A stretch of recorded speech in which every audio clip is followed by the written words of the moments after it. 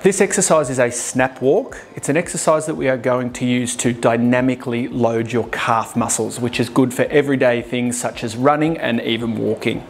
So what you want for this is a couple of weights. Dumbbells are great. You can also use kettlebells. Your starting position, you want to go up on both legs with your heels up as high as you can off the ground. Now this is your starting position and each time I want your foot to return to this position.